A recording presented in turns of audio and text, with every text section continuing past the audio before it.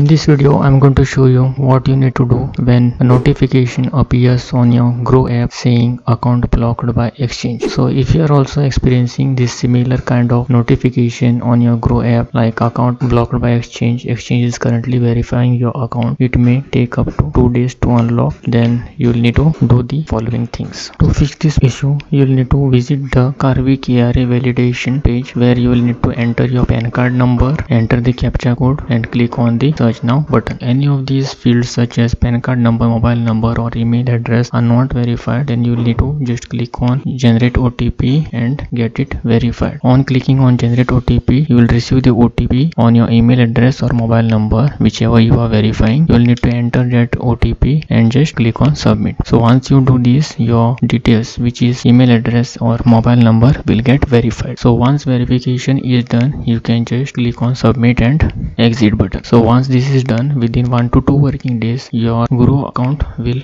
get unblocked. And that notification which was coming as account blocked by exchange will be removed. So this is how you can easily fix this problem if you are getting account blocked by exchange notification in your Groww app. So that's it for today. Have a nice day. Goodbye